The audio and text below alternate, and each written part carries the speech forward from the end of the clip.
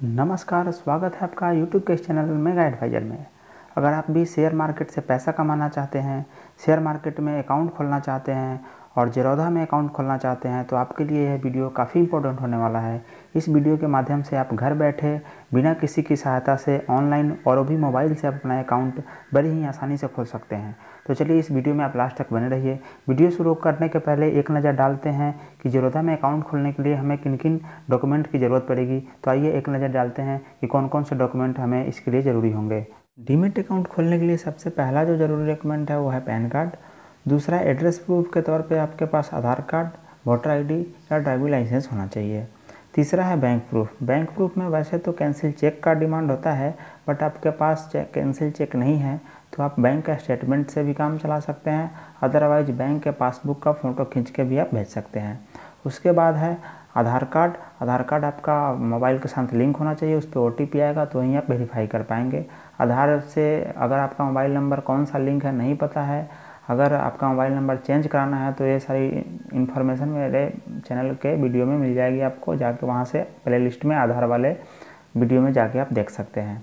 उसके बाद आपके पास एक फ़ोटो होना चाहिए और आपके पास होना चाहिए सिग्नेचर। सिग्नेचर को आप जो ब्लैंक पेज पे, जो वाइट कलर का ब्लैंक पेज होगा, उस पर आप लिख के उसको स्कैन करके या फिर फ़ोटो खींच के अपने मोबाइल में रख रख लेंगे।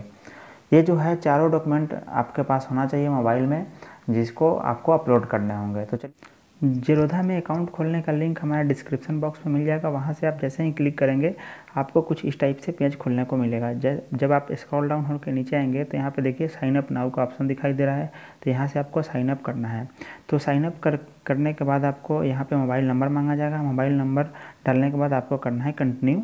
आपने जो मोबाइल नंबर दिया है, उस पर सिक्स डिजिट का ओ आ जाएगा। यहाँ पर आपको ओ टाइप कर लेना है और कन्फर्म पर क्लिक करना है। उसके बाद आपको यहाँ पे फुल नेम पूछा जा रहा है और ईमेल पूछा जा रहा है तो ईमेल और फुल नेम देने के बाद आप कंटिन्यू पे क्लिक करेंगे तो आपको एक ईमेल पे भी ओटीपी आएगा, उसको भी आपको टाइप करके कंटिन्यू करना है। देन आपको यहाँ पे आपका पैन नंबर मांगा जाएगा और डेट ऑफ़ बर्थ मांगा जाएगा। तो पैन कार्ड से आप अपना यहाँ पे पैन नंबर लिख देंगे और डेट ऑफ़ बर्थ जो है पैन कार्ड में है, वो आपको यहाँ पे सेलेक्ट करके आप यहाँ पे देख रहे हैं कि एक चेक बॉक्स लिखा हुआ है। कि the PAN can not be change later करके हुआ है तो यहाँ पे आपको चेक कर लेना है और नीचे जो कंटिन्यू वाला ऑप्शन दिखाई दे रहा है, आपको कंटिन्यू पे क्लिक करना है। तो यहाँ पे आप देख सकते हैं आपका ऊपर नाम लिख के आ जाएगा और यहाँ पे स्टेप वन दिया हुआ है। आप देखिए यहाँ पे स्टेप जो वन है, आपको बहुत ध्यान से देखने वाली चीज़ है। यहाँ पे दो ऑप्शन आपको दिखाई दे रहे हैं इक्विटी और कमोडिटी इक्विटी का चार्जेज जो है दो सौ रुपया होता है और कमोडिटी का चार्जेज होता है सौ रुपया अकाउंट खोलने के लिए। तो अगर आप कमोडिटी में ट्रेड करना नहीं चाहते हैं तो यहाँ से आप अनचेक भी कर सकते हैं। अदरवाइज़ दोनों को चेक करेंगे तो आपको तीन सौ रुपये का पेमेंट करना होगा। तो चलिए मैं यहाँ पर दोनों को सेलेक्ट करके तीन सौ रुपया पेमेंट करता हूँ। पेमेंट करने के लिए आपको देखिए यूपीआई का दिया हुआ है और यहाँ पर नेट बैंकिंग या कार्ड के थ्रू भी आप पेमेंट कर सकते हैं। तो जो भी आप एलिजिबल हो, आप यहाँ से पेमेंट कर सकते हैं। हो सकता है आपको थोड़ा बहुत प्रॉब्लम हो रहा हो तो आप क्या करेंगे, सबसे पहले जो अब आप क्रोम यूज़ कर रहे होंगे तो इसको डेस्कटॉप वर्जन में कर लेंगे, ताकि आपको जो सारा डिटेल्स है ठीक ठीक से दिखाई दे पाए। तो यहाँ पे आप देख पाएँगे कि मेरा दो सौ रुपये का कम्योडिटी मैंने डिसलेक्ट कर दिया था बाद में, और दो सौ रुपये का यहाँ पे सक्सेसफुली पेमेंट हो गया हुआ है। उसके बाद जो नेक्स्ट स्टेप है, वो बहुत ही इंपॉर्टेंट है। यहाँ पे देखिए share Aadhaar details with DigiLocker यहाँ पे लोग कन्फ्यूज़ करते हैं और मैक्सिमम लोग यहीं पे गलती करते हैं। तो आपको कनेक्ट टू डिजी लॉकर पर जाना है। और जैसे ही आप यहाँ पे क्लिक करेंगे तो आपको यहाँ पे आधार अब्लिक मोबाइल नंबर करके ऑप्शन आएगा। तो यहाँ पे आप अपना आधार नंबर टाइप करके कंटिन्यू पे करेंगे। अगर आपका डिजी लॉकर में अकाउंट है तो कोई बात नहीं है। अगर नहीं भी है तो कोई दिक्कत नहीं है। आप अपना यहाँ पे आधार नंबर सिंपली टाइप करके कंटिन्यू पे क्लिक करेंगे। कभी कभी मोबाइल नंबर क्लिक यहाँ पे टाइप करने से कभी कभी प्रॉब्लम हो जाता है तो मैं प्रेफर करता हूँ कि आप अपना आधार नंबर ही टाइप करके कंटिन्यू करें। आधार नंबर टाइप करने के बाद आपके पास एक ओटीपी आएगा। उस ओटीपी को यहाँ पर आपको टाइप करना है और कंटिन्यू पर क्लिक करना है।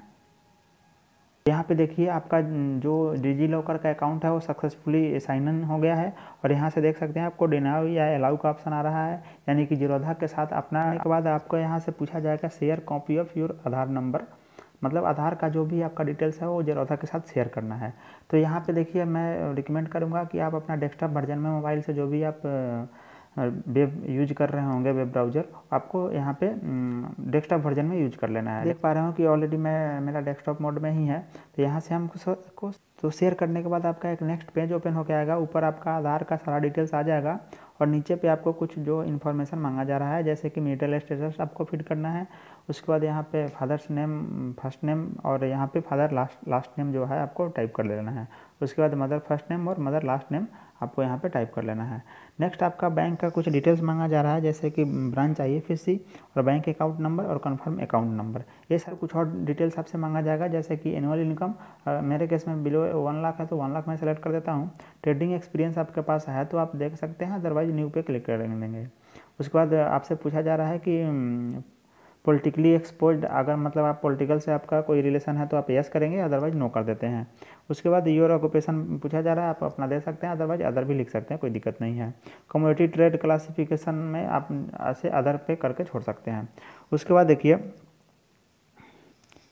यहाँ पे आप देख पा रहे हो कि बहुत सारा चेक बॉक्स दिया हुआ है तो आपको एक बार रीड कर लेना है और यहाँ पे चेक बॉक्स में चेक करके यहाँ पे जो दिए हुए कंटिन्यू बटन पे आपको क्लिक करना है।